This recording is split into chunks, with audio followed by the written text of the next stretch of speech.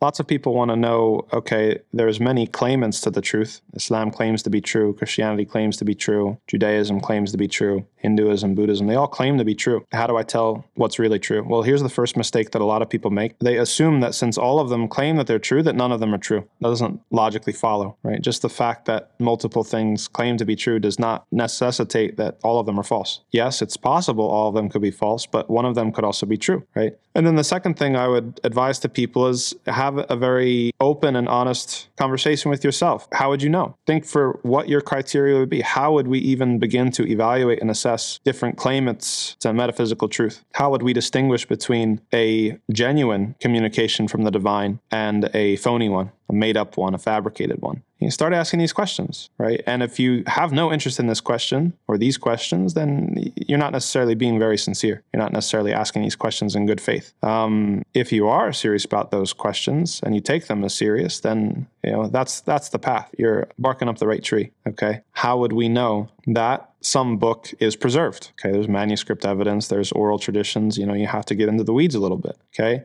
Uh, how would we know that a certain text, if we can prove sort of epistemologically that it is preserved and it's authentic? Okay. Is there any sort of thing in the text itself that would indicate whether it's a genuine revelation, communication from the divine or not? Well, what would we expect from a creator? Would we expect a coherent, cohesive sort of missive or uh, you know epistle, some sort of communication that has a structure that's clear, has a singular you know authorial voice, or would we we expect multiple voices, different sort of prints of different authors and things like that, contradictions, right? Like yeah, we can talk about it. We can talk about what would we expect a genuine communication from the divine to look like. And if you go through that, and that's for you to do, not me, because I've already done it for myself, I think that nothing can compare to Islam.